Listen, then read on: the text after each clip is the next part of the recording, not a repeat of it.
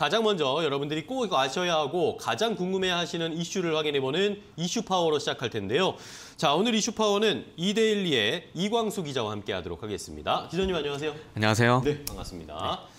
자, 오늘은 또 어떤 두 가지 이슈를 가지고 오셨을지 많은 분들 궁금해하실 테니까 첫 번째 이슈부터 바로 공개해드리겠습니다. 자, 오징어 게임에 이어서 이번에는 마이네임까지 우리 한류 콘텐츠들이 전 세계를 휩쓸고 있습니다. 관련된 콘텐츠 관련 종목들도 들썩거리고 상한가를 기록하고 어, 주가 상승이 이루어지고 있는데요. 자, 과연 그렇다면 우리 K 콘텐츠, 한류 콘텐츠 관련 종목들 어떻게 봐야 할지 자세하게 분석해 보도록 하겠습니다.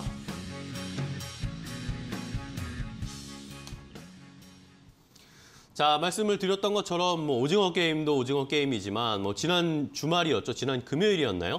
마이네임이라는 이 드라마도 또 넷플릭스에 공개가 됐는데 주말 사이에 또 순위를 휩쓸고 있습니다. 네. 정말 해외에서 우리 컨텐츠에 대한 관심이 정말 많은 것 같아요.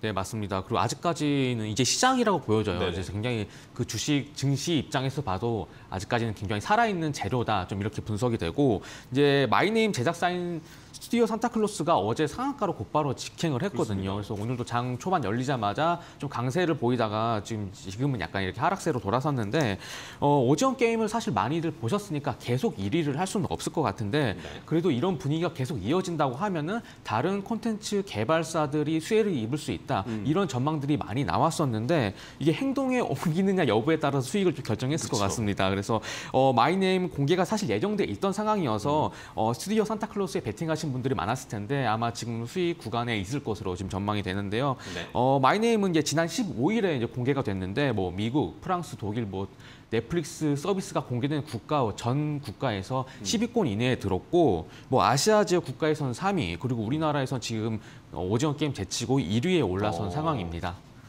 네.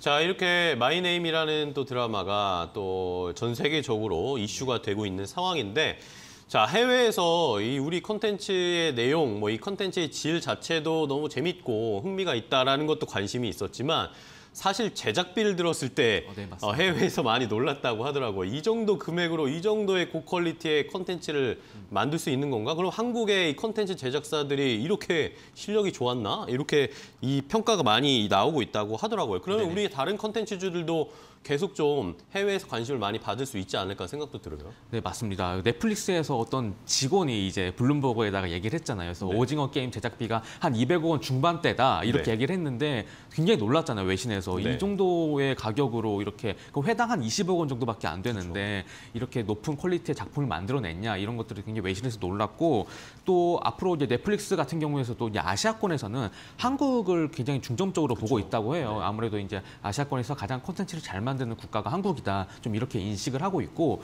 또 다음 달에 디즈니 플러스가 이제 그쵸, 국내에 이제 출시가 되거든요. 정확한 날짜로는 11월 12일인데 이 디즈니 플러스도 지난주에 그 이제 미디어데이 행사를 온라인 으로 개최를 했는데요.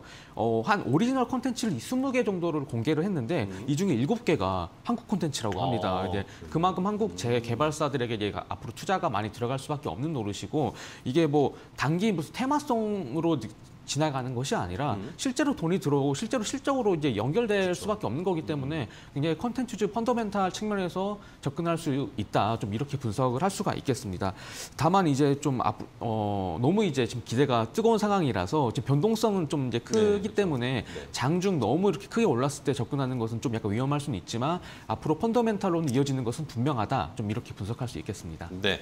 자 그렇다면은 우리 컨텐츠 관련 종목들 이런 뭐 디즈니 플러스나 넷플릭스나 이렇게 어, 공급할 수 있는 우리 컨텐츠 제작사들 어떤 회사들을 좀 살펴보면 좋을지도 좀 알려주시면 좋을 것 같고 네네. 앞으로 또 추가적으로 계속 연말 뭐 내년까지 줄줄이 작품이 또 대기하고 있잖아요. 네네. 어떤 것들이 있는지도 확인해 볼까요? 네, 뭐 증권가 리포트를 좀 보니까 콘텐츠 기업 중에서도 뉴랑 제이 컨텐트리를 좀 이제 증권가에서는 주목을 하고 있는 어, 것 같습니다.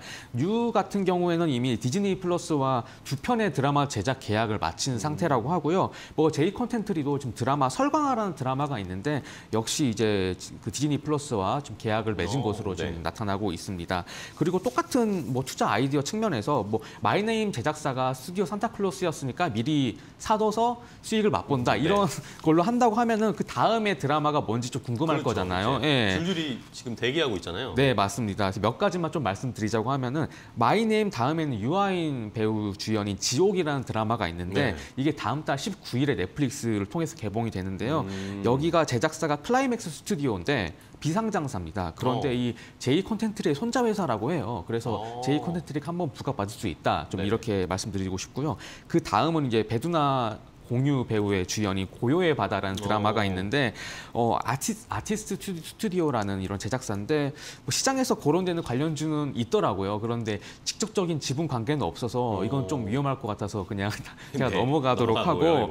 그 다음은 지금 우리 학교는 이라는 드라마가 있는데 음. 이 마찬가지로 제이 콘텐트리가 제작을 한다고 해요. 오. 그래서 증권가에서 좀 제이 콘텐트리를 좀 주목하지 않았나 이렇게 싶고 그 다음에도 무수히 많은 지금 예정작들이 있기 때문에 이런 것들을 한번 검색해 보셔서 제작사가 어떤 곳들인지 어떤 거 작품은 또 어느 정도인지 지원 배우가 누구인지 이런 것들 을 한번 따져보면 좋을 것 같습니다.